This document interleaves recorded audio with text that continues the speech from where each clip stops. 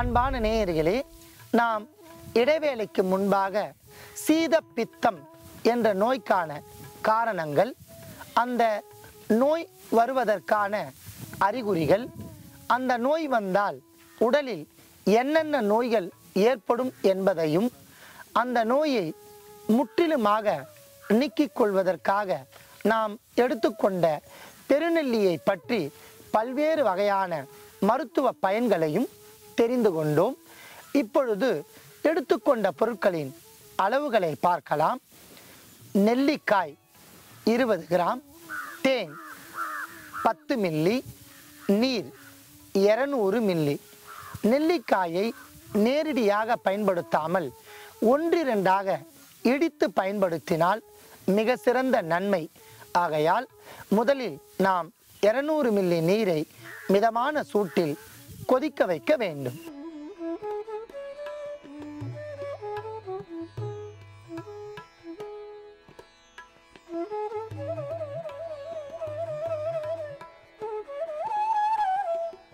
அன்பான நேயர்களே மிதமான சூட்டில் நீர் காய்ந்து கொண்டிருக்கும் போதே நாம் நெல்லிக்கனிகளை ஒன்றிரண்டாக இழுத்து பயன்படுத்த வேண்டும்.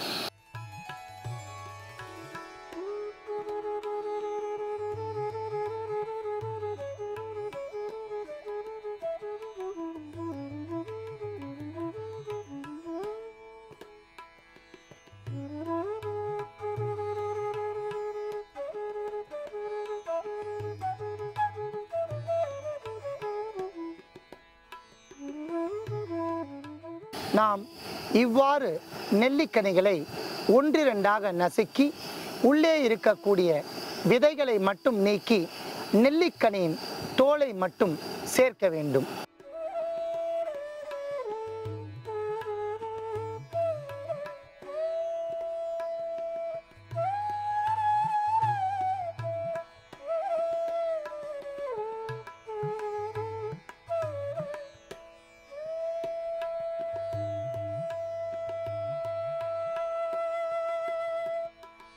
அன்பான நேயர்களே நன்றாக கொதித்து கொண்டிருக்கின்ற நீரில் நாம் சேர்த்த விதை நீக்கிய நெல்லிக்கனிகள் நன்றாக இணைந்து கொதித்து அதில் இருக்கக்கூடிய பரிபூரணமான மருத்துவ குணங்கள் எல்லாம் நீரில் இறங்கிவிட்டன.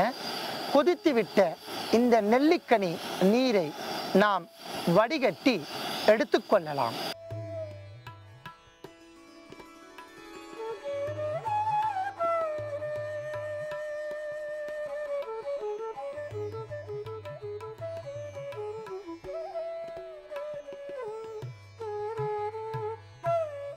அற்புதமான முறையில் நாம் தயாரித்த நெல்லிக்கனி தீநீருடன் இப்பொழுது தேன் ஒரு ஸ்பூன் அளவிற்கு சேர்த்து நன்றாக கலக்க வேண்டும்.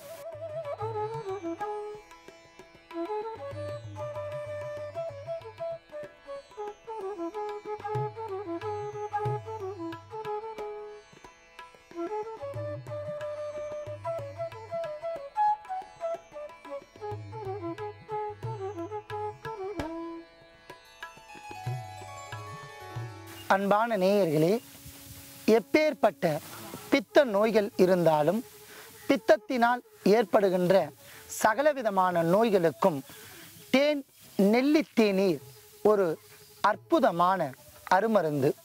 இந்த நோய் உடையவர்கள் காலை நண்பகல் மாலை மூன்று வேளையும் இந்த தேன் நெல்லி தேநீரை உணவிற்கு பின் முப்பது முதல் ஐம்பது மில்லி அளவிற்கு மூன்று வேளை நான்கு நாட்கள் தொடர்ந்து பருகி வந்தால் படிப்படியாக சீத பித்தம் ஆர்டிகேரியா என்று சொல்லக்கூடிய பித்த நோய்கள் அனைத்தும் விலகும்.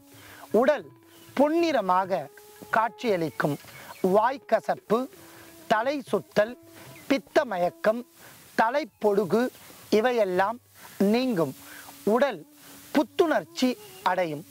காலை நேரத்தில் எழுந்தவுடன் வாயிலிருந்து கசப்பான உமிழ்நீர் சுரப்பது தடுத்து நிறுத்தப்படும். அன்பான நேயர்களே நம் வீட்டு தோட்டத்தில் கிடைக்கக்கூடிய பெருநெல்லி கனிகளை கொண்டு நாம் அன்றாடம் பயன்படுத்தும் தேனை கொண்டும் நாம் தயாரித்த இந்த மருத்துவத்தை நோய் உடையவர்கள் பயன்படுத்தி நோயின்றி வாழ வேண்டுகிறேன்.